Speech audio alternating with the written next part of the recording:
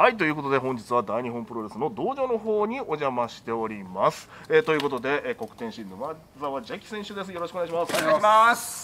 さあジャキ選手と言いますか。あ新次さんも隣に。新次さんもいらっしゃいました。はい、えープロレス評論家の新次さんです。お願いします。お願いします今日はよろしくお願いします。声ちっちゃいな。ちょうど車が通りましたね、排気音に負けるということなんですけども、えー大日本プロレスさんというと商店街プロレスはい。というのももう何年ぐらいやられてるんでしょ一番最初に六角橋が、はい。そのスタートしたのが2000何年でしたかね。3年4年。きっかけは何からその商店街にそのプロレスを持っていこうっていうことなんはいで。すか、一番最初のそのそ六角橋が始めたのは、はいあのお父さんのバックドロップっていう映画がありまして、はい、でその映画のロケ地で六角橋を使ったんですよね。そうなんですでそれで六角橋さんの方でその商店街プロレスをやろうっていうので。うんその時はあの主演の宇梶さん。はい。が、はい。あのリングアナをやられて、えー、すごい。えーああそうなんですね。はそこからもうずっと続けていて、い。で今横浜市内の全部のところでやってますけどそれはあのもう始めて9年とかですね。うーん。はい。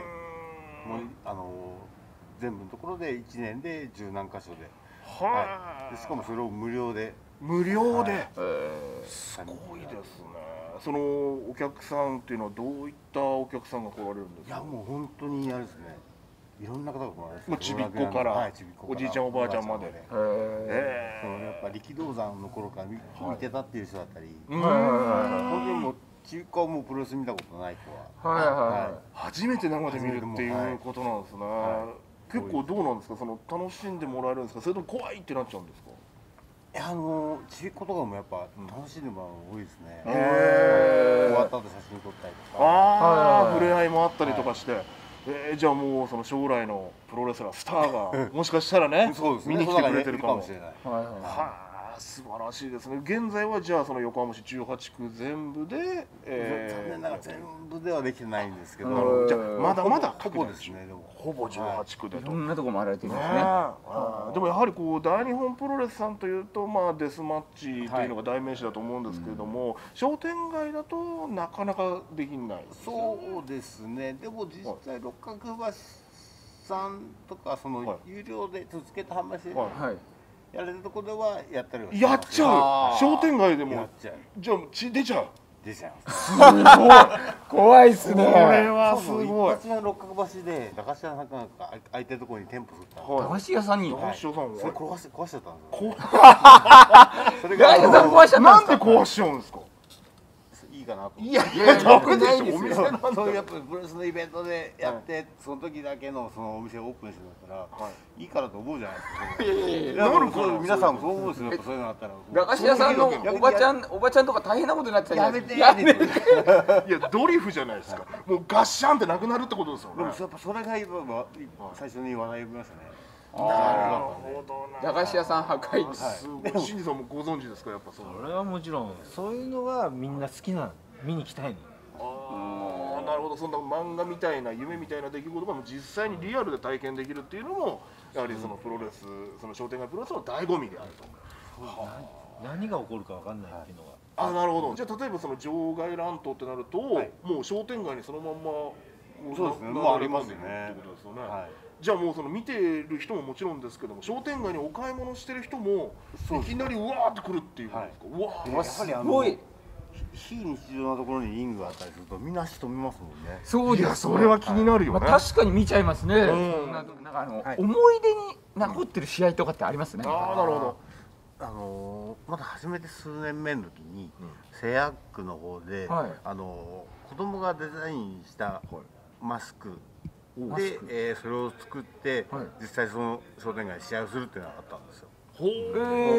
お子さんが、はい。ちょっと例えばマスクマンの絵を描いて、うん。はいはいはいはい。でこうなんまあ例えばなんとかマンじゃないけど、うんそれとマスクのデザインとあと必殺技の名前っていうのうんを、はいあの新興さん横浜新興さんの方のはい。中に展示させていただいて、はでそれで投票してで実際それで1位を取ったのが斉藤誠也というマスクマンで、はい。実際それがで試合に出て、ーで書いた子もは一緒にマスク同じマスクをかぶってう入場するっていう。嬉しい。えじゃあそれ一般の子が投票したらレスラーが出来上がったってことはいですか、出来上がった。うわもう夢が現実になったってことそうですね。はその技もやるんですか？試合中。いやってますね。うわちょっとこれ俺大人でもやってみたいですもん、ね。書いて。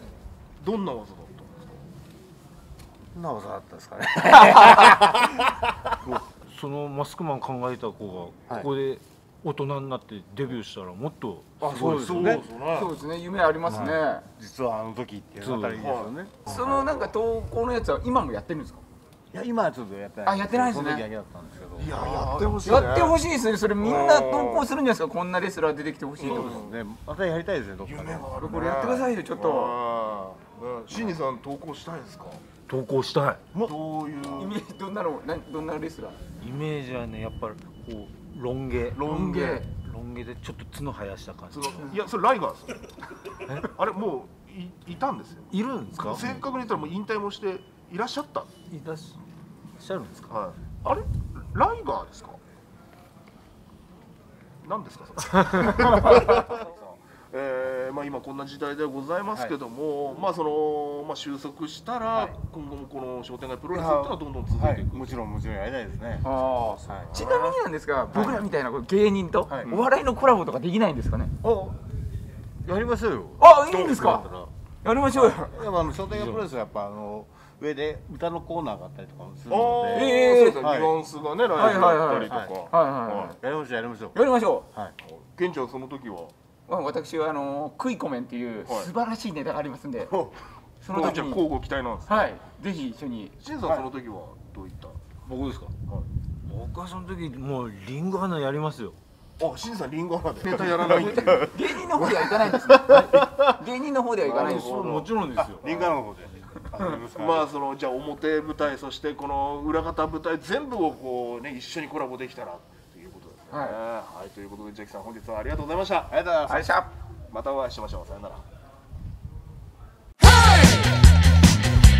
Hardcore TV